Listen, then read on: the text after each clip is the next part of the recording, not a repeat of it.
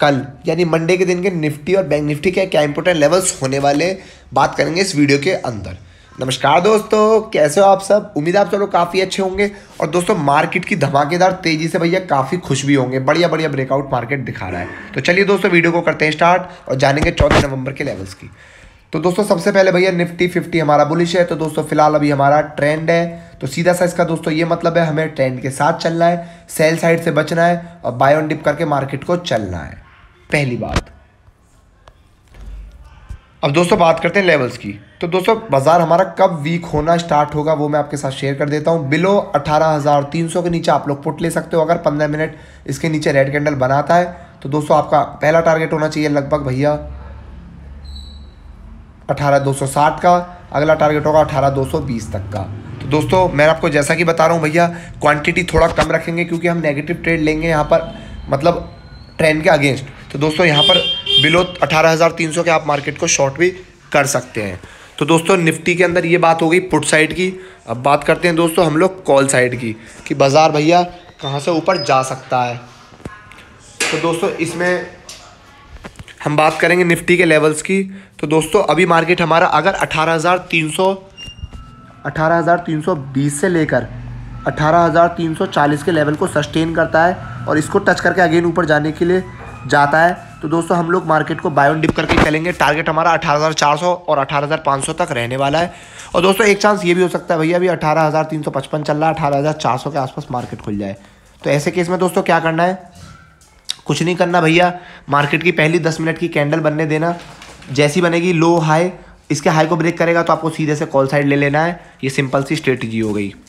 बात कर लेते हैं दोस्तों रिलायंस की। तो रिलायंस अभी बुलिश ही है, सत्ताईस तक के टारगेट से पहले वीक नहीं होने वाला। अब बात करते हैं दोस्तों बैंक निफ्टी की। उससे पहले आप लोगों के लिए इंपॉर्टेंट इन्फॉर्मेशन है। अगर अभी तक दोस्तों आप लोगों ने हमारा फ्री टेलीग्राम चैनल ज्वाइन नहीं करा तो इसको जाकर ज़रूर ज्वाइन करें। क्योंकि दोस्तों, आपको मैं काफ़ी कुछ यहाँ पर लेवल्स भी शेयर करता रहता हूँ। तो दोस्तों, इस फ्री टेलीग्राम चैनल के लिंक हम मैंने डाल दिए डिस्क्रिप्शन बॉक्स में। आप लोग वहाँ से जाके भी इसको ज्वाइन कर सकते हैं।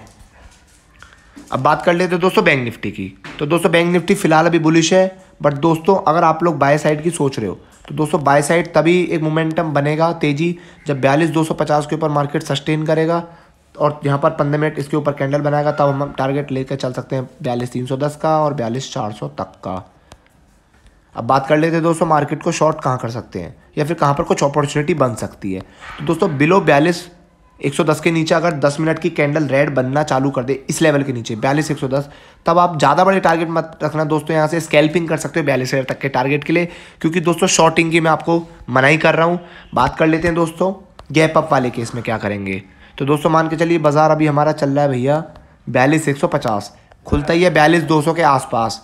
तो दोस्तों, बयालीस, दो सौ के ऊपर अगर मार्केट सस्टेन करता है, और जैसा कि पहली कैंडल होगी पाँच दस मिनट की अगर ग्रीन बनाता है, रेड जो भी बनाता है, इसका हाई ब्रेक होगा, तब हम इसको बाय करके चल सकते हैं बैंक निफ्टी को।